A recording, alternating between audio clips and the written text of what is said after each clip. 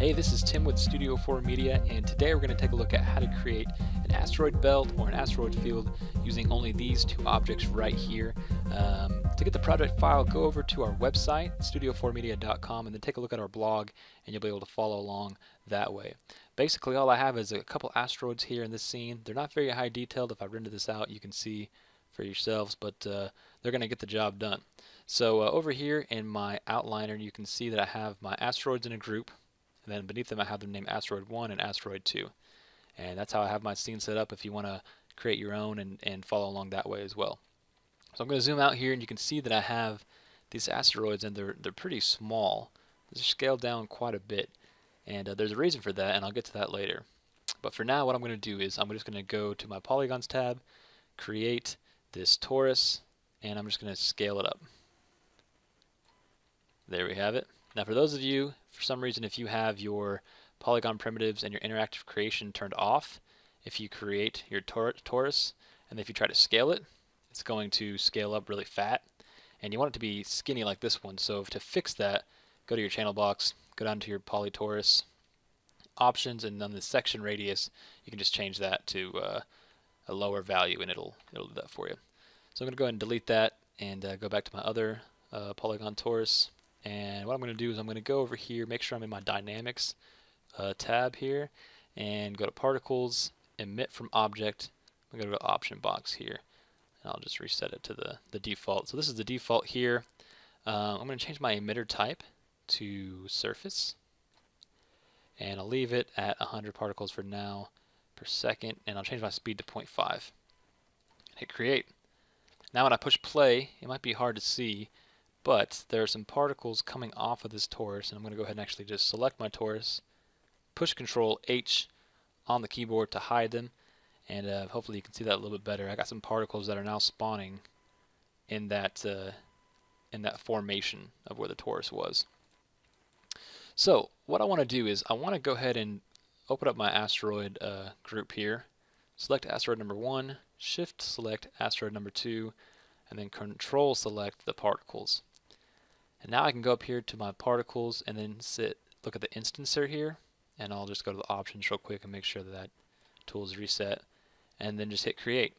And now you can see that each one of these particles is actually actually instancing from this um, these objects, and it's being duplicated. But if you look closely, you can tell that it's actually just one of the asteroids that is being duplicated over and over again. I don't have both of them, I just have one of them. And we're going to fix that right now. So I'm going to go to my attribute editor and go under my particle shape, scroll down, and we're going to have to do some um, some expressions here. So underneath my add dynamic attributes, I'm going to go to general, and I'm going to create a new attribute, and this name is going to be custom. Um, it'll be our custom index because it's going to be a random value, and we're going to want to make it a float and that'll be good. Hit OK.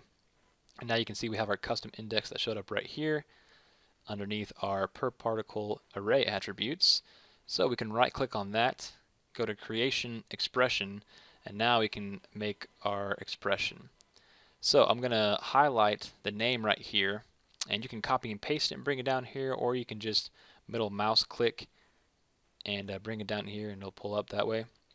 I'm going to write a quick expression. So what I'm going to do is I'm going to uh, hit a space and hit equals. So this shape equals rand, and that's for random.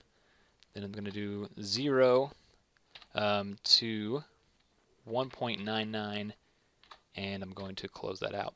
So, so what we just said here is that um, the first object over here, asteroid 1, Maya actually considers that as 0. So that's the object 0. And my second object is object 1 but in order for it to be a full value, it has to be 1.99. So let's say you had four objects in your scene, you're going to go from 0 to 3.99. Um, so it's a little bit confusing, but hopefully uh, that makes a little bit more sense. Uh, if you're if you're if you're doing your own and you're not using not following along with uh, ours, make sure that for however many you have in your scene, uh, you just start at zero and then count from there. So zero, one, two, three, and so on. So there we go, I have that set up. I'm going to go ahead and hit create. And now we have our expression created right here. Uh, but nothing's going to happen yet. Nothing's changed because we have to go up here and do a couple different things. So I'm going to go up here underneath my instancer. I think by default, this button is uh, actually unchecked. It says allow all data types. We want to actually turn that on, make sure that's uh, checked. Then we can scroll down and underneath our object index, we're going to scroll down to the very bottom and we're going to see right there our custom index. So now that we have that set up, let's go ahead and back it up and play again. And now you're going to notice if I zoom in here that we do have actually both of our objects spawning. So that worked out great. But as you can see here, our objects are um, the exact same scale and they're the exact same position and so it looks really fake and it's obvious that we're only using two objects in order for uh, to make this this belt of this field. So we're gonna we're gonna mix this up just a little bit and um, we're going to create some more expressions. So I'm to go back into the attribute editor, scroll down and get my um, expression editor back up by right clicking on my custom index and go into creation expression. And so we have it here. And what I'm going to do is I'm going to go with the rotation first. So I'm going to hit enter a couple times. And um, before we can actually create an expression, we have to make sure we add our attribute. So I'm going to go over here to my add dynamic attribute, just hit general, and I want this name to be custom rotation. So there we go, custom rotation. Now instead of this being a float, I want to make this actually a vector because we want to rotate in all three dimensions, x, y, and z. So it needs to be a vector and I'll hit OK. And now we are ready to write an expression. And so we're going to say custom rotation. Uh, make sure that's a capital R. Rotation um, equals, and we're going to do these uh, symbols right here. If you can't find it, it's a shift, comma, comma, and shift period, period on your keyboard. And uh, that'll pull those up. So shift, comma, comma, and then we'll do rand and we'll go 0 to 360, so 0 degrees to 360 degrees. Put that, uh, the parenthesis back there. Now I'll do shift, period, period, and we'll do a semicolon. So what this is saying is the custom rotation is going to randomize between a value of 0 and a value of 360 degrees. And I actually need to make three of these because we want it to be random in X, Y, and Z. So I'm going to highlight this, hit copy, put a comma here, then paste, a comma, and paste. So now we have our custom rotation is randomizing 0 to 360 degrees in the X, the Y, and the Z, and then these here close out our expression. So that is good to go. I'm going to go ahead and hit edit so it makes the changes, and then I'm going to pull this off to the side, go back up here, to our rotation, underneath our rotation options, and scroll down until I find our custom rotation. Now if I back this up and play it again, you're going to see that these objects are now being rotated and are rotated at different intervals. And that helps out a ton with it looking like it's actually um, different rocks and different uh, different asteroids in there. Uh, but we can do a little bit better. We can also change the scale because right now they're all the exact same scale, so that gives it away that it's only two objects being instance. So let's go ahead and uh, mess around with the scale now. So I'm going to pull this back over and go to our attribute editor, scroll down, and add another attribute. So we'll go to General, and we'll call this one Custom Scale. And this is going to be a vector as well because we want it to scale in X, Y, and Z. So that's good to go. And go back to my expression editor. Again, if you if you accidentally close out of your expression editor, you can get to it again, but just by right-clicking on your custom index, go into creation expression, that'll pull that up for you. Um, so in our expression editor, we're going to write another expression. We're going to go ahead and say um, the first one we're going to write is float.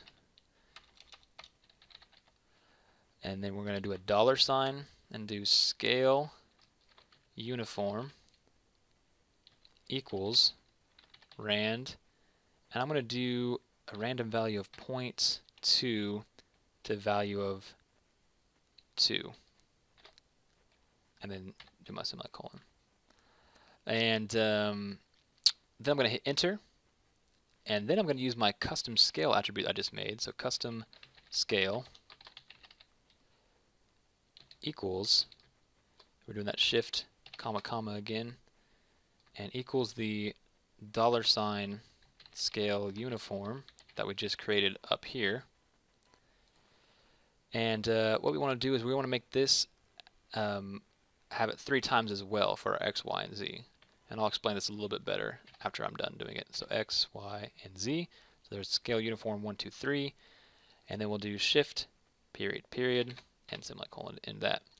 So what we just did here is we created a float expression. So we're, we're naming it um, scale uniform by putting that dollar sign in front of it. And we're saying that uh, the scale uniform equals a randomness value of 0.2 to 2. So it's going to scale it up uh, in a uniform direction. And the reason why we're doing it this way instead of just doing a, an equal value in here is because if we were to just put a value in here, um, let's say instead of doing that scale uniform, we were just going to put a value of like 1 to 4, like that.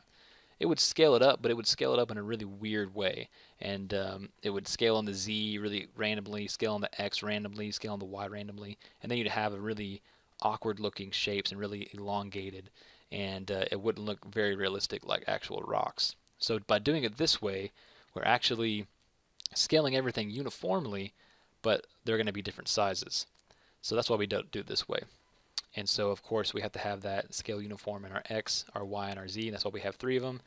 And that is the end of our expression. So go ahead and hit edit to make those changes. Now back over in our particle shape, we'll go up to our scale in our general options, go down to our custom scale, and then we'll back this up and push play. And you can see right away that we have um, the scaling is a lot different and the rotation is being randomized. You have some small ones here, got some big ones over here. So we know that everything is working properly and it all looks uh, looks really good. So what we can do now is we can play around with this a little bit. The cool part about this is now that we have our expressions written and our objects are being instanced correctly, we can go to our attribute editor, we can go to our emitter, and we can make changes to our emitter, and whatever changes we make actually will just affect the way our field looks. So I'm going to scroll down here. I might increase the, the particles per second to say a value of 200, and then I'm going to increase the max distance up to a value of 7 and you'll see what that does here. So I'm going to hit play. And right away you can notice that we have a cool looking asteroid field. And uh, if I zoom in here and render this out yeah this looks really cool. All of a sudden we have an awesome looking asteroid field and it's almost impossible to tell that we have made this just by you know instancing or, or copying two objects because of the way we randomized it. So this looks awesome. And uh, you know this is a this is a great effect and a great look. And if you want to um, if you want to get a look that's not so much a field like this and actually like rings like in the example picture uh, you can do that real simply as well. You can uh, highlight your your uh, emitter here and let's put this max distance back down to zero. And let's go to our speed. Tone that to a value of 0.2 speed random to a value of 0.2 and Let's see what that looks like. So they're staying in this ring right here, and uh, it, it, looks really cool because now they're just forming a ring, and you can even put a planet, you know, in the in the center there instead of having our instance objects. In fact, we can just go ahead and hide these. Control H. That way we don't have to worry about seeing them. But uh, yeah, all of a sudden we have some sweet looking rings, and uh, it was super simple. And these look a little bit, uh, a little bit like the rocks are too big and the ring is really small. So what we can do is we can actually, I'm going to go back and uh, I'm going to unhide those uh, real quick. So go to display, show selected, because I selected them here in the outliner. And if we scale these down or up, you're going to notice right away that it's going to, you know, immediately affect our um, instance particles. So I'm going to scale these down and maybe down even a little bit more. And I'm going to select my emitter and now I can crank up this uh, rate per second to a value of like say a thousand and let's see what that looks like. So now we got these rings here and this is looking really sweet because they're a little bit smaller but as you zoom in you can see that they're actually big asteroids. And so when we render this out it's a more believable effect of having those those uh, bunch of asteroids together creating this ring here. And this is looking pretty sweet. If you know the longer we play it the more particles spawn and the better it looks. So anyway this is uh this is how you get that effect. And of course you can even bump up your um, your rate per second here to say value of 2000 and then you really get a really dense asteroid field there. So anyway uh, you can duplicate this ring and have multiple rings at once. You can flatten you know the uh, the original um, torus we started with so it's not so bulbous on the ends. You could do so many different things with this, but uh, hopefully you guys enjoyed this tutorial. This is pretty much it. Just uh, really simple. Instancing objects is one of the coolest ways to create effects. You can do so many things with it. This is just one small option uh, that you can do with it. So hopefully you guys like this tutorial. We're going to have a bunch more free tutorials coming out, and as always, take a look at the website. A lot of really cool things on there uh, for our subscribers. And uh, yeah, I'll see you guys on the next tutorial.